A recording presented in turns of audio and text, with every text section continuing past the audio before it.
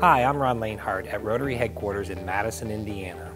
I am going to review the importance of lowering your lift to the locks. It's hard to believe that this simple step is one of the most important in the lifting process, and one of the most overlooked. Lowering your lift to its locks is not just a safety precaution, it also helps protect your lift from premature wear. On a two-post or a high-pressure in-ground lift, Lowering to the locks helps relieve the pressure built up inside of the hydraulic cylinders. When a lift is not lowered to its locks, the pressure inside of the hydraulic system remains high.